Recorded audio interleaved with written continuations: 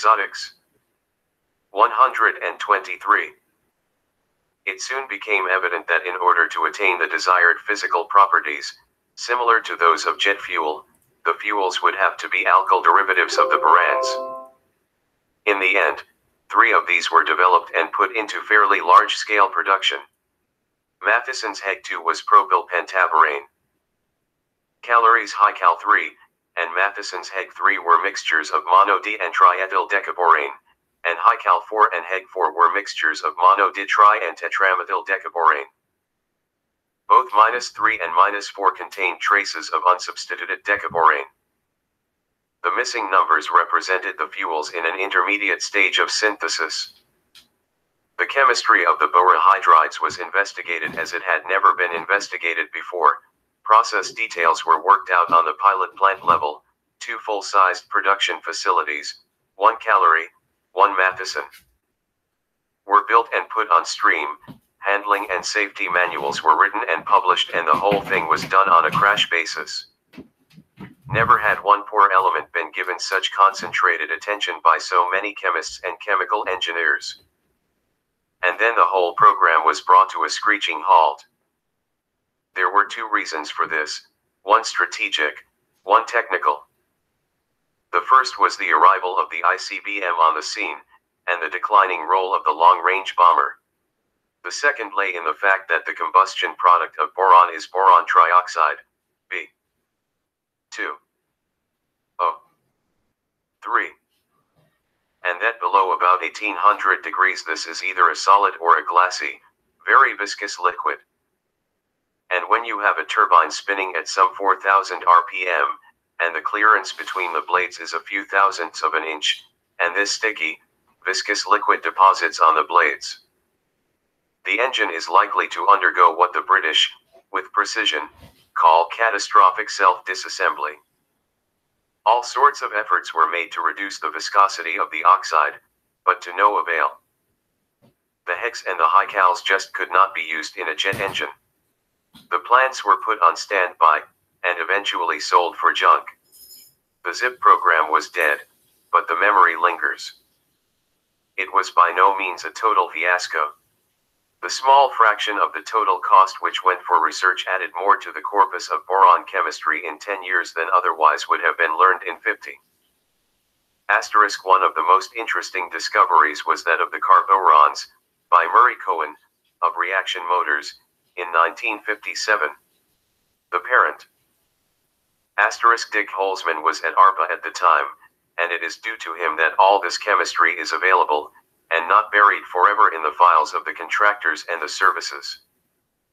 He had all the information collected, heckled Ronald Hughes, Yvonne Smith, and Ed Lawless of Midwest Research Institute into putting it together in one volume. And finally edited production of the Boranes and Related Research, which was published by Academic Press in 1967. 124.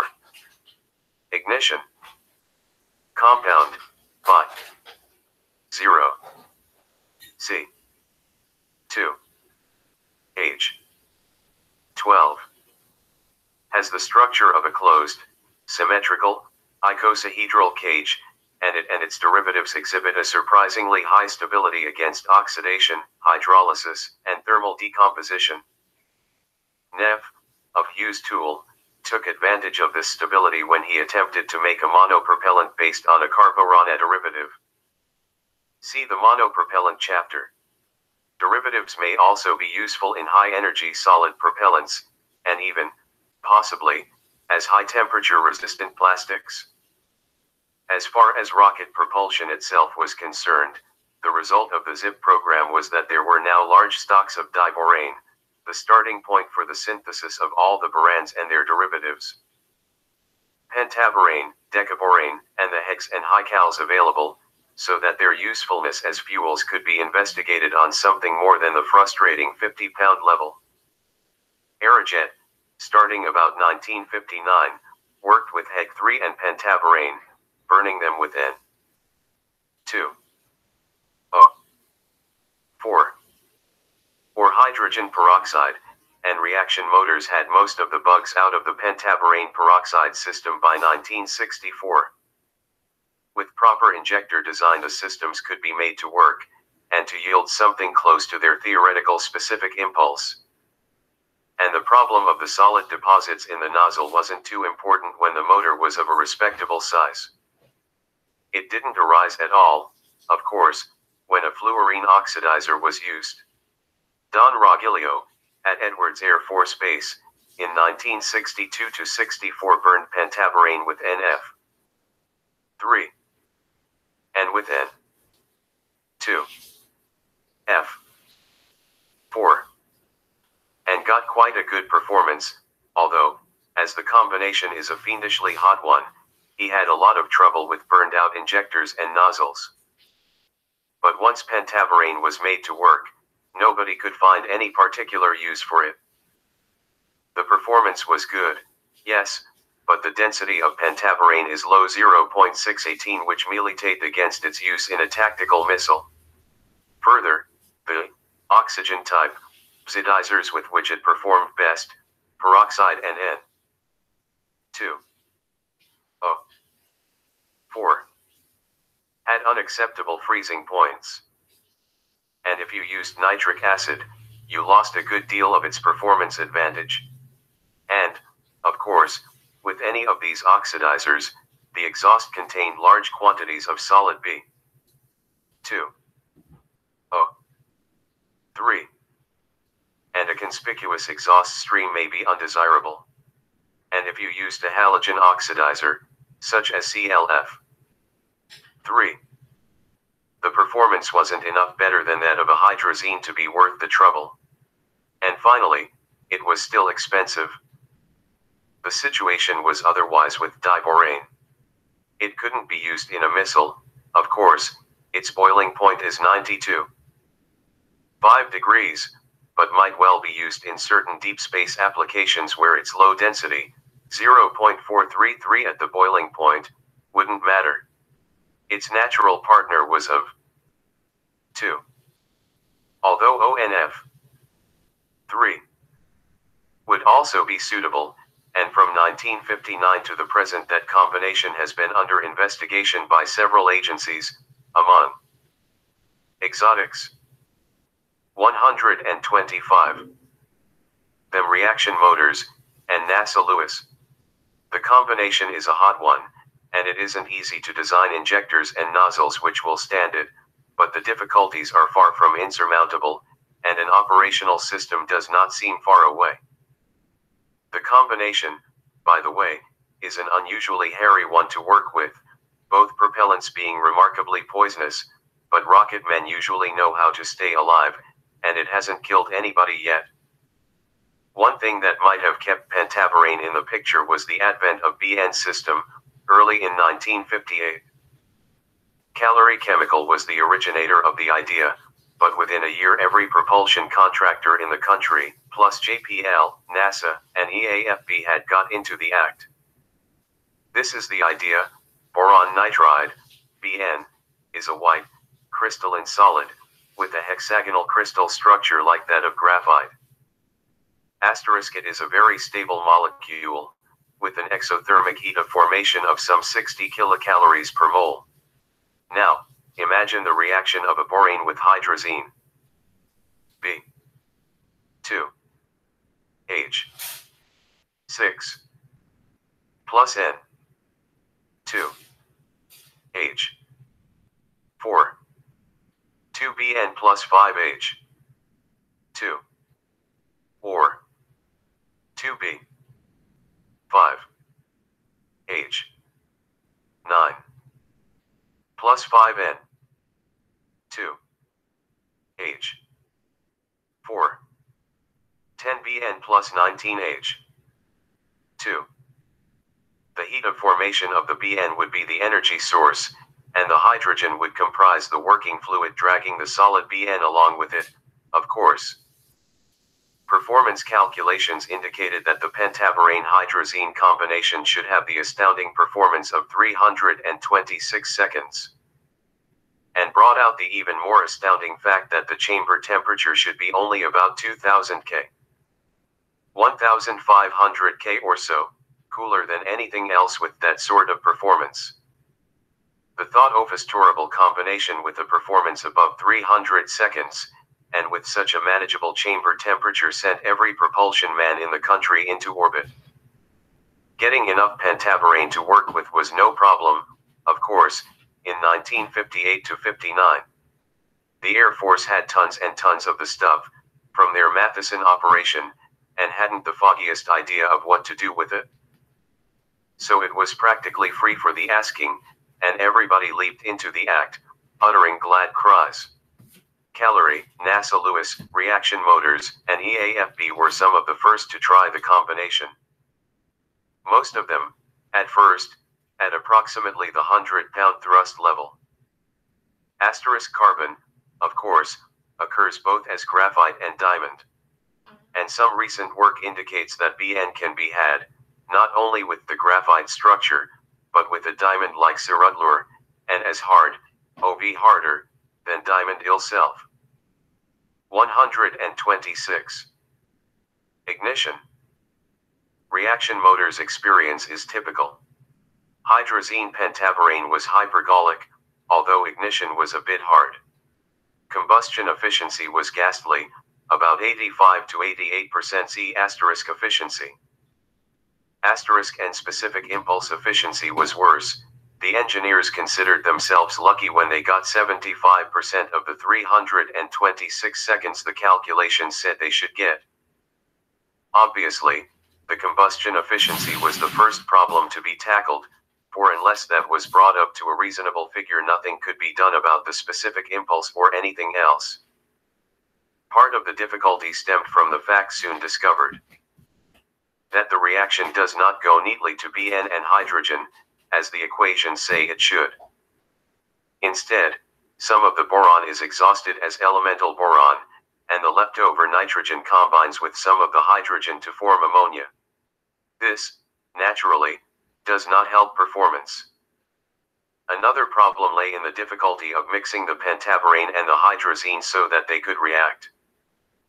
Hydrazine is a water-soluble substance, and pentaborane is oil-soluble, and the two were remarkably stubborn about getting together.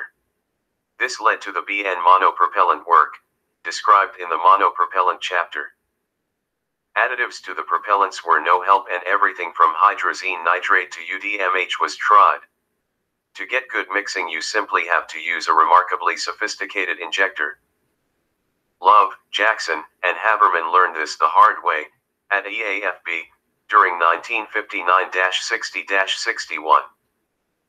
As their thrust level rose from 100 to 5,000 pounds, and they laboriously dragged their C asterisk efficiency from 76% up to 95%, they experimented with no less than 30 different injectors each one more sophisticated and complicated than the last.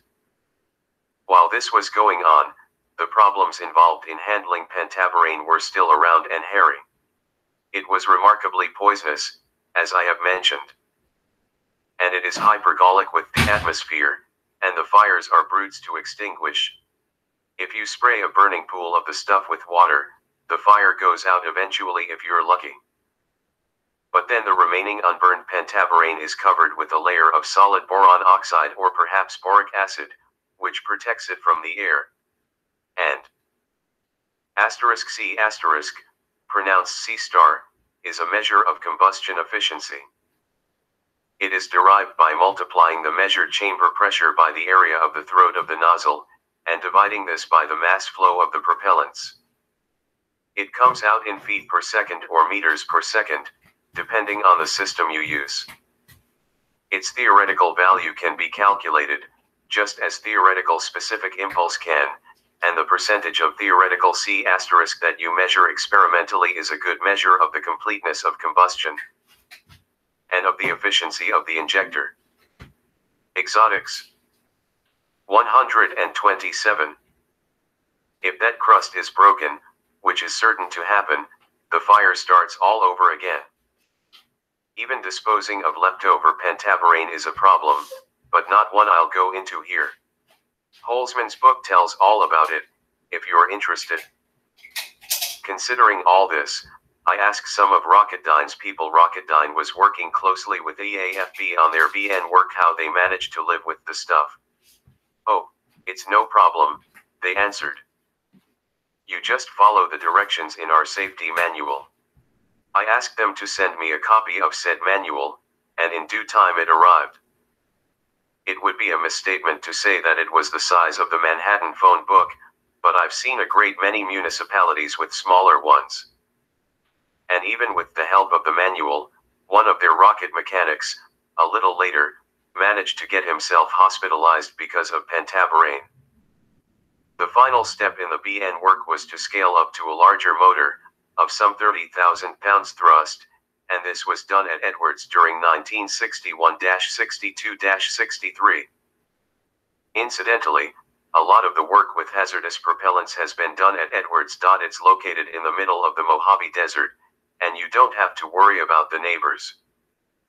Even if you spill a ton of liquid fluorine and that's been done there, just to see what would happen. The only thing that's likely to be damaged is the peace of mind of a few jackrabbits and rattlesnakes.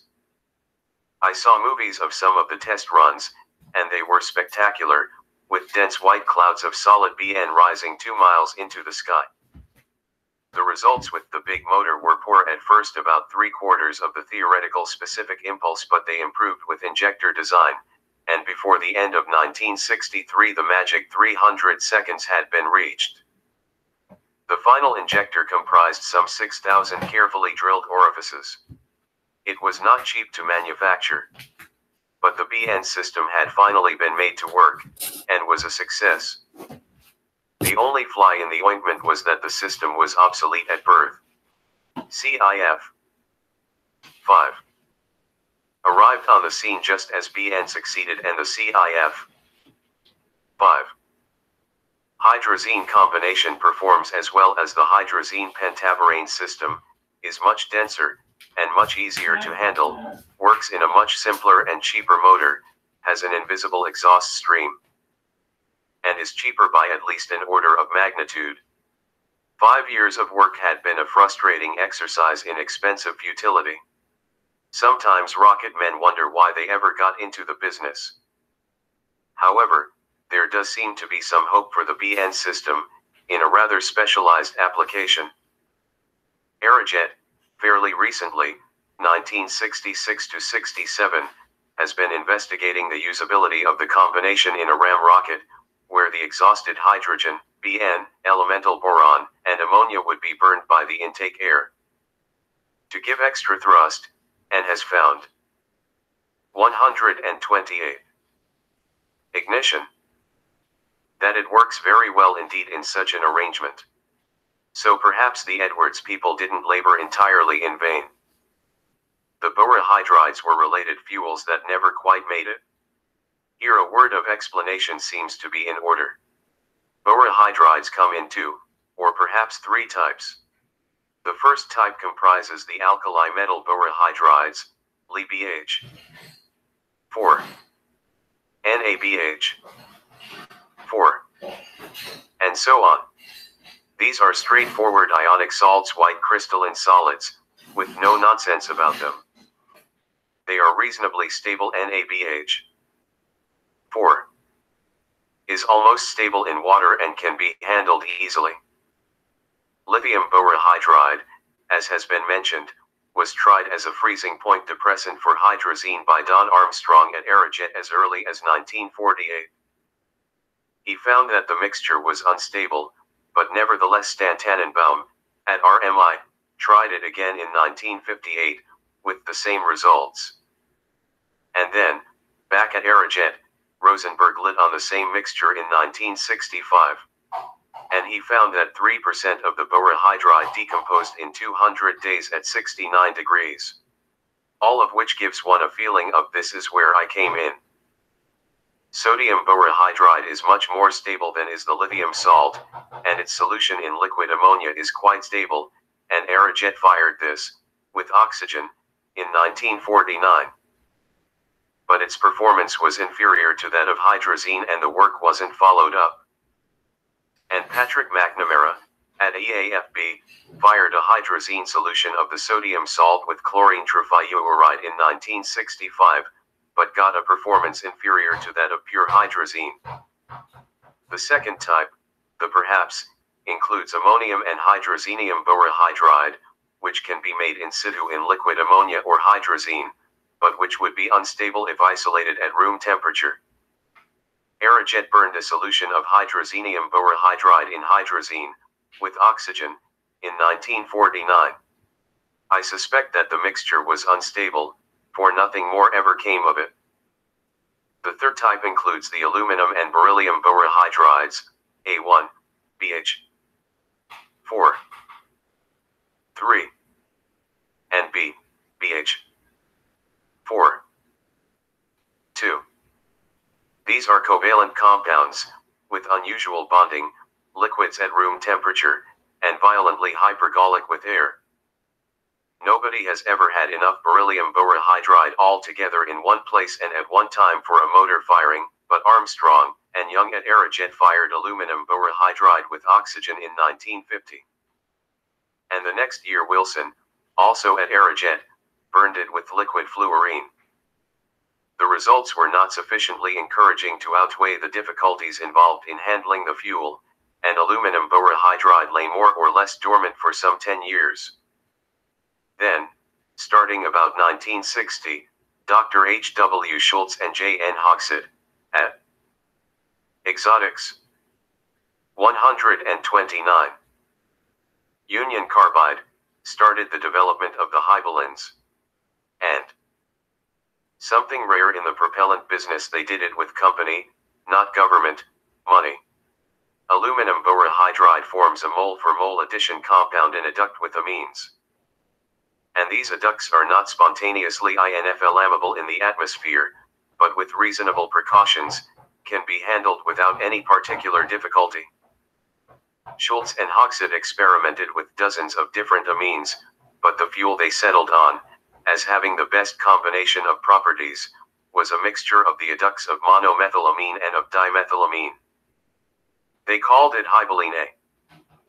5. They also made some adducts of beryllium borohydride. These they called Hibaline B. They plugged the Hibalins for some four years, quoting calculated performance figures which were a wonder to behold.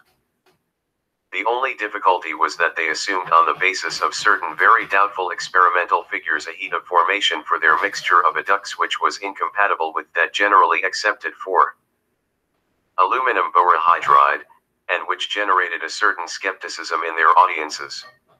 The question was finally settled when EAFB made a series of full scale, 5,000 pound thrust, firings with Hibaline A. 5. N. 2.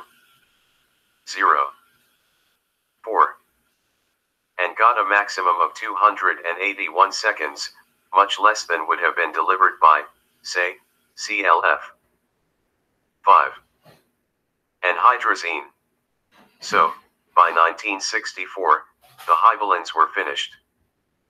The latest excursion into the realm of the exotic was made by F.C. Gunderloy, at Rocketdyne. He discovered that certain linear polymers of beryllium hydride and dimethyl beryllium, with the chains terminated with BH 3 groups, since the work is classified, I can't be more specific in describing them, were viscous liquids, and worked on them for four or five years. The chemistry involved is interesting for its own sake, but it doesn't appear likely to lead to a useful propellant. The liquids are extremely poisonous, and beryllium oxide, which would be one of the exhaust products if one of them were used as a fuel, is so toxic as to rule out any use in a tactical missile and there are better fuels for space work.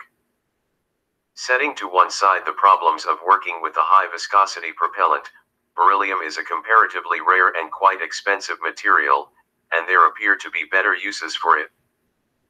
The development of these compounds would have been an admirable academic exercise well worth several PhDs in inorganic chemistry. As a propellant development program, it can be classified only as an unfortunate waste of the taxpayers' money. So what's ahead for the exotics? As I see it, just two things. 130 Ignition 1 diborane will probably be useful in deep space work. 2 The pentaborane hydrazine BN system should be very good in RAM rocket and similar systems. And the people who lost their shirts on boron stocks will have to discover a better way of getting rich from other people's work. For them, my heart does not bleed. 11. The hopeful monoprops. Monopropellants, unlike gall, are divided into two parts. Low energy monoprops are used for auxiliary power on a missile, sometimes for attitude control on a space vehicle, the Mercury capsules. And the X 15 airplane at high altitudes used hydrogen peroxide for attitude control, for tank pressurization, and the like. High energy monoprops, the Glamour Boys, are intended to compete with bipropellants for main propulsion. There haven't been too many of the first sort, and their development has been more or less straightforward. The first, of course, was hydrogen peroxide, used by von Braun to drive the turbines of the A4.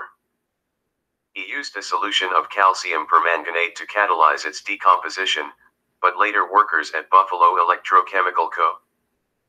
Becco, found it more convenient to use a silver screen, coated with samarium oxide to do the job.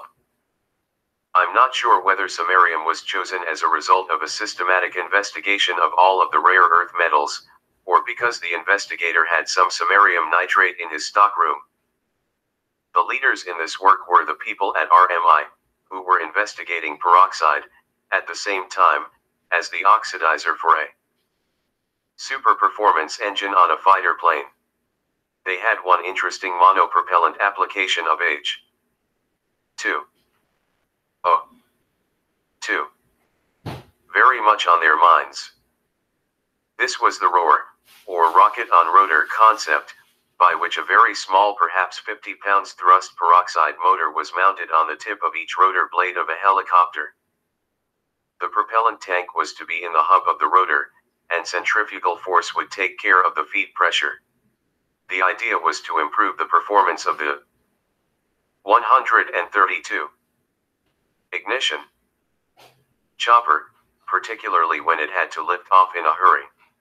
That means when somebody is shooting at you.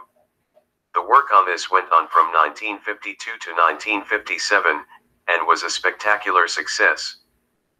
I've seen an Roar helicopter operating, and when the pilot cut in his rockets, the beast shot up into the air like a goose archangel. The project was dropped, for some reason, which seems a shame. An Roar chopper would have been awfully helpful in Vietnam, where somebody usually is shooting at you. At any rate, peroxide is still used as a low energy monopropellant, and will probably continue to be used in applications where its high freezing point isn't a disadvantage. One such application is as a propellant for torpedoes. After all, the ocean is a pretty good thermostat. Here it is decomposed to oxygen and superheated steam. The hot gases spin the turbines which operate the propellers, and the torpedo is on its way. But here a little complication sets in. If you're firing at a surface ship, the oxygen in the turbine exhaust will bubble to the surface, leaving a nice visible wake, which not only gives the intended victim a chance to dodge, but also tells him where you are. Becco came up with an ingenious solution in 1954. They added enough tetrahydrofuran or diethylene glycol. Other fuels could have been used, to the peroxide to use up the oxygen, letting the reaction go stoichiometrically to water and carbon dioxide. The water, steam, is naturally no problem, and co. 2. As anybody knows who's ever opened a can of beer, will dissolve in water with the help of a little pressure. That solved the wake problem, but made the stuff fearfully explosive, and brought the combustion temperature up to a level which would take out the turbine blades. So Becco added enough water to the mixture to bring the chamber temperature down to 180 F, which the turbine blades could tolerate, and the water dilution reduced the explosion hazard to an acceptable level. Another low energy monopropellant was propyl nitrate, first investigated around 1949 or 1950. It was plugged, enthusiastically, in England by Imperial Chemical Industries, who insisted that it was absolutely harmless and non explosive. Ha! ERDE, WA Abbey, investigated it and its homologues rather extensively, and in this country the Ethyl Corporation and Wyandotte Chemical Co. did the same. The work in England was done on isopropyl nitrate, but in this country, due to a magnificently complicated patent situation, normal propyl nitrate was the isomer used. By 1956, not only Ethyl and Wyandotte, but United Aircraft, JPL, NOTS, Aerojet, and the Naval Underwater Ordnance Station, the old torpedo station at Newport. The hopeful monoprops 133 were working with it, either as an auxiliary power source or as a torpedo propellant, and either straight or mixed with ethyl nitrate. It was easy to start either a hot glow bar or a slug of oxygen and a spark plug were enough burned clean and smoothly, and seemed to be the answer to a lot of problems. And then it showed its teeth. NPN doesn't go off on the card gap tester.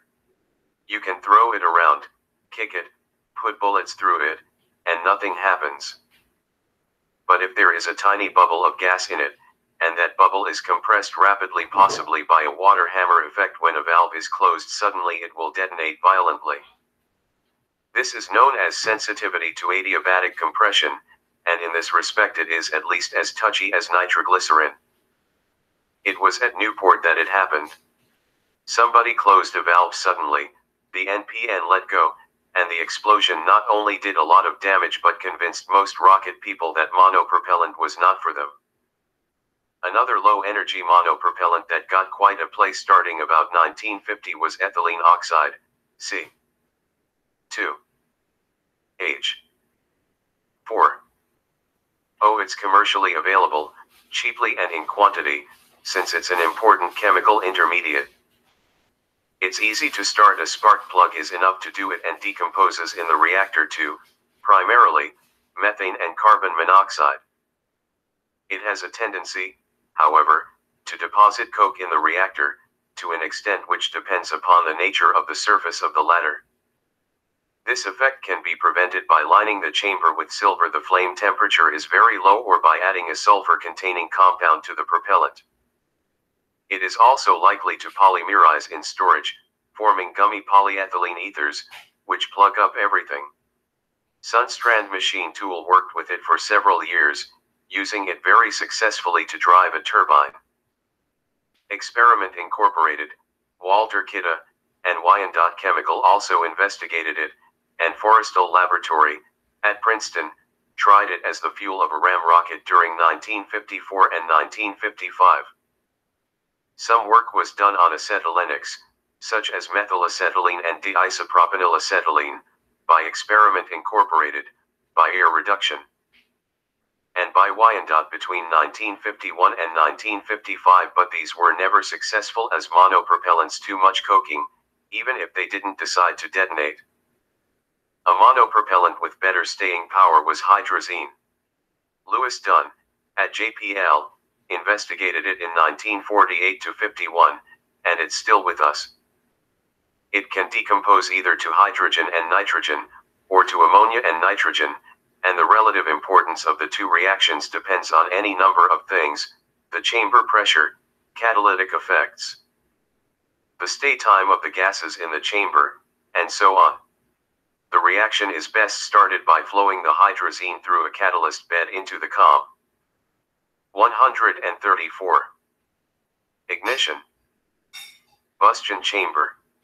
Grant, at JPL, in 1953, came up with the first reasonably satisfactory catalyst iron, cobalt, and nickel oxides deposited on a refractory substrate. The decomposing hydrazine, of course, reduces the oxides to the finely divided metals, which take over the catalytic role after startup but restarts, if the catalyst bed has cooled, are just about impossible. The Shell Development Company, in recent years, 1962 to 1964, has brought out a catalyst which allows restarts. Iridium metal deposited on the substrate. But nobody is really happy with it. It's easy to drown the catalyst bed by trying to run too much propellant through it, so that you get incomplete decomposition or none at all, and it works very poorly with the substituted hydrazines, which you have to use for low temperature applications. On top of that, iridium is the rarest of the platinum metals and the catalyst is horribly expensive. And just to make it interesting, the major supplier of iridium is the Soviet Union. Another way to get restarts is to use a thermal instead of a catalytic bed. This has a high heat capacity and is insulated against heat loss, so that it will stay hot for some time after shutdown, and will reignite the propellant on restart simply by heating it.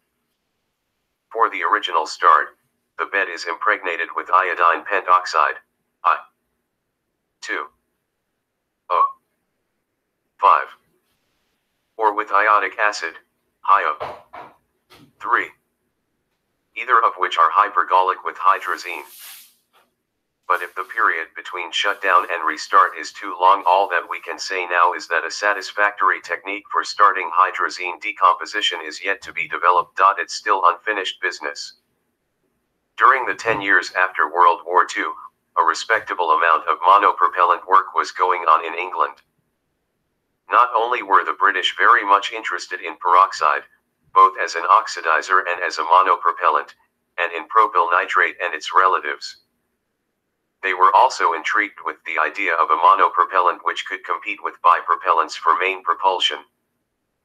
As early as 1945 they fired the German 80-20ths mixture of methyl nitrate and methanol, and came IO the regretful conclusion that it was something that just couldn't be lived with, in spite of its respectable performance. Then the Waltham Abbey people came up with another idea. The Dithekites had been developed during the war as liquid explosives, and ERDE thought that they might possibly be good monopropellants. The dithekites are mixtures comprising 1 mole of nitrobenzene and 5 of nitric acid, which makes the mixture stoichiometric to water and Co. 2. And a varying percentage of water. D20 contains 20% water. Even with the added water, the mixtures weren't too stable, and the nitrobenzene had a tendency to get nitrate further. But the British tend to be more casual, or braver. The hopeful monoprops. 135. About such things than we are in this country, and that didn't deter them appreciably. Nor did another hazard, peculiar to the dithekites. They are, of course, corrosive, and very rough on the human skin, and to make it worse, the highly poisonous nitrobenzene was absorbed rapidly through the damaged tissue into the anatomy of the victim, subjecting him, as it were, to a one two punch. However, they persevered and fired the things more or less successfully in 1949 to 50. Only to discover that if you put enough water into them to keep them from blowing your head off, the performance you got wasn't worth the trouble. End of Dithekites.